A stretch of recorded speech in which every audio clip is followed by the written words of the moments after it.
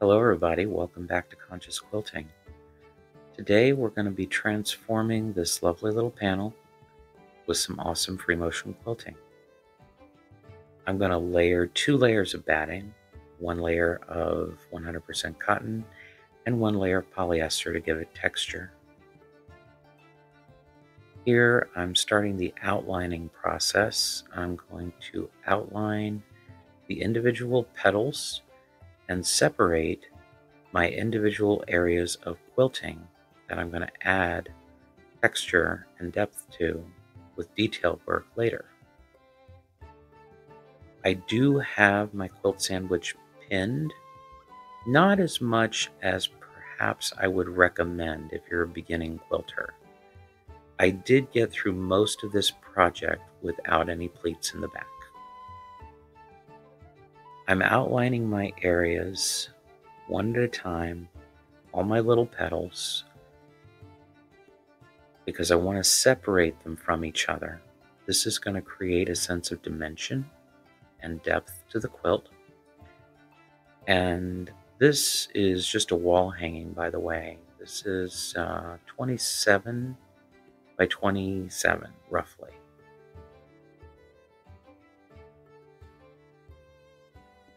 My individual petals, I am using two lines of quilting on each one, creating a space in between the quilting areas so that the types of quilting don't run into each other, and to give a little place for the eye to rest.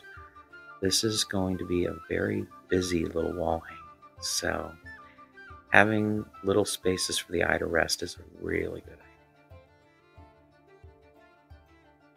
Now I am starting my detail quilting. I'm putting some feathers in here. I'm using a lovely golden yellow thread in the area where it starts in the center.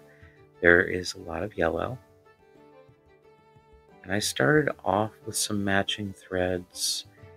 And then later on in the quilt, I'm going to get a little more adventurous and use some stronger, bolder colors.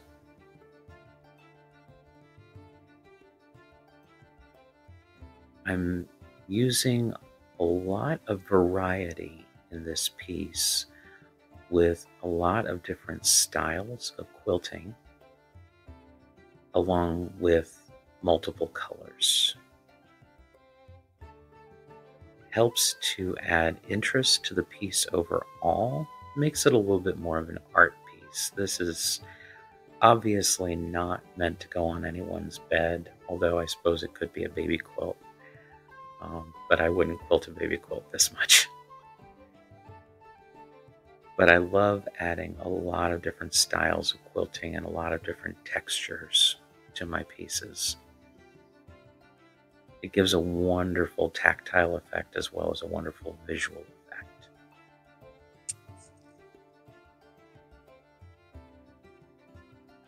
And I'm also combining more intricate and more simple styles of quilting in this quilt.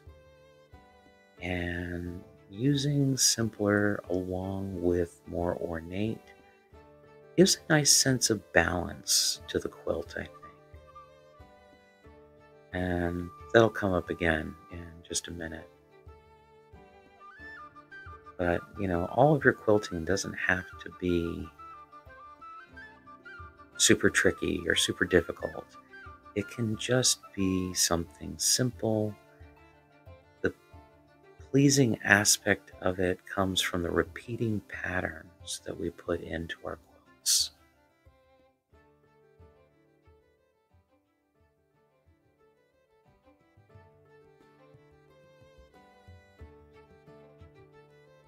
Now, here I'm going back to a little more intricate, a little more tricky, doing some feather work again.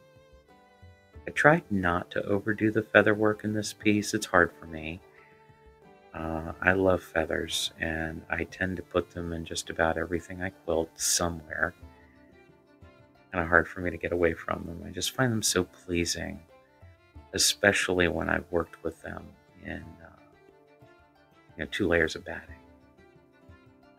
This is another area where I use simple, very simple quilting, just echoing, nothing fancy, but it adds a nice touch.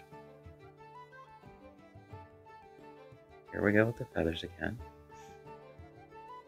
And I went really kind of big and juicy with this feather, and I added a whimsical little spiral feather in there. And then some tiny feathers here. And on to some pebble work.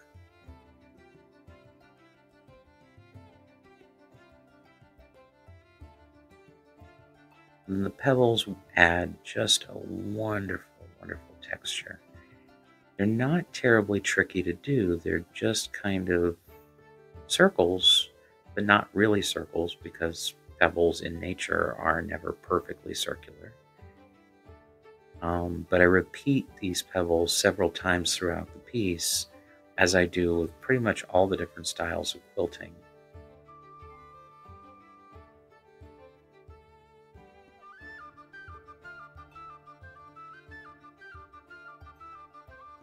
Here, I'm just adding some veins to this piece know, just some curls.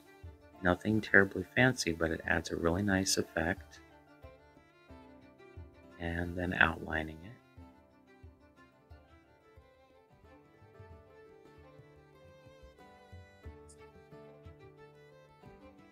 And here I've started to change some bolder colors.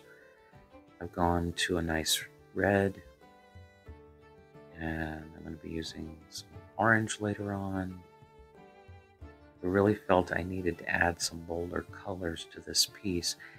The original print of the panel is very much pastel, and I really wanted to just add some juice to it, add some color, and a little bit more boldness, just to kind of kick up the excitement of it a little bit. You know, the texture is wonderful, but I like to challenge myself sometimes with using a strong contrasting thread in my personal quilt pieces and in my art pieces, certainly. Um, for beginning quilters, I tend to recommend that they stick with matching threads. It hides your mistakes better.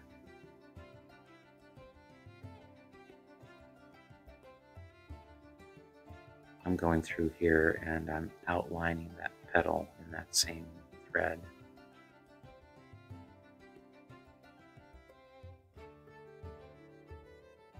Here we have a little more pebble work. I'm cruising through this one at high speed because watching pebbles for too long does get a little boring. So I didn't want to put you through that. But um, I do love the result of pebble work, although it is murder on your shoulders. Here I decided to go back to the center and using a deep orange thread, I'm just adding some more detail.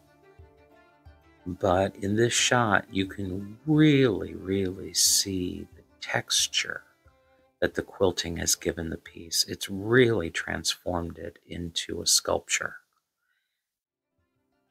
This is what I really love about quilting is how you can transform fabric and thread into a relief sculpture.